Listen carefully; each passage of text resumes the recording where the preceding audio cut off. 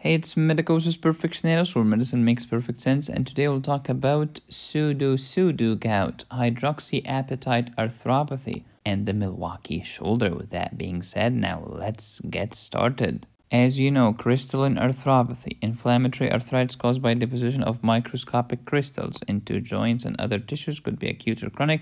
Types based on the crystals gout, pseudo-gout, and pseudo-pseudo. What are the crystals in gout? Monosodium urate. In pseudo-gout, calcium pyrophosphate dihydrate deposition disease. How about pseudo-pseudo hydroxyapatite crystals, specifically basic calcium phosphate? And we call this hydroxyapatite arthropathy. Please remember calcium phosphate.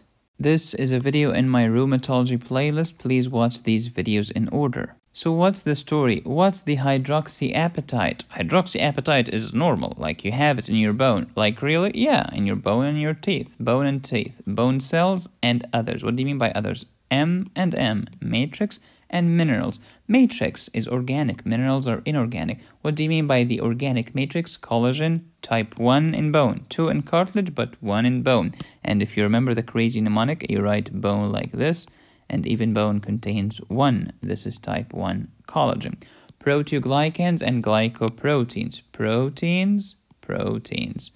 Carbohydrate, carbohydrate. This was the matrix. Inorganic, the minerals, calcium phosphate and hydroxyapatite. Basic calcium phosphate.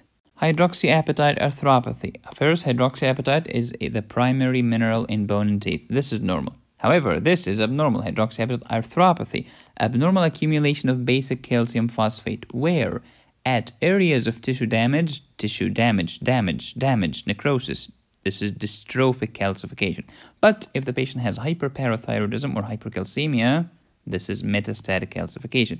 So you can have both in the same patient, which makes a great pathology question for hydroxyapatite arthropathy.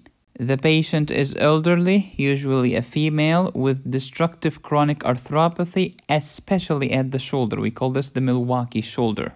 What are the risk factors? Please remember basic calcium phosphate. Calcium phosphate hypercalcemia could be due to hyperparathyroidism, hyperphosphatemia, milk alkali syndrome, arthritis, scleroderma, and dermatomyositis. There is calcification on X-ray. There is increased mononuclear cells in the joint on arthrocentesis. Are these positively birefringent like pseudogout or negatively birefringent like gout? They are non-birefringent, neither nor. Pay attention because these crystals are very small. Sometimes they are missed by the light microscopy. Use electron microscopy instead or use a special stain called whatever red.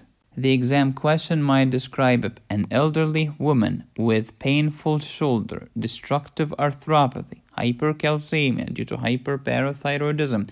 On X-ray there was calcification. On arthrocentesis there were macrophages. Nothing was seen on light microscopy, but when they added this special stain, these crystals appeared as red and bulky. And then they will ask you what's the diagnosis? Hydroxyapatite arthropathy, also known as pseudo-pseudo gout. What is the crystal name? Basic calcium phosphate.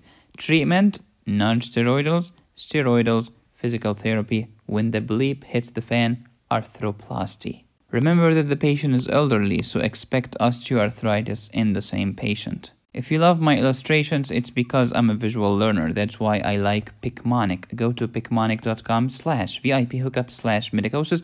They have animated medical mnemonics and they are doozy. Here is the Picmonic about the treatment of gout and we have talked about this before. Try it today for free. The link is in the description and they have a mobile app as well and you can answer multiple choice questions on their app on the go. So thank you so much for watching. Please subscribe, hit the bell, and click on the join button. You can support me here or here, or by going to picmonic.com slash VIP hookup slash medicosis.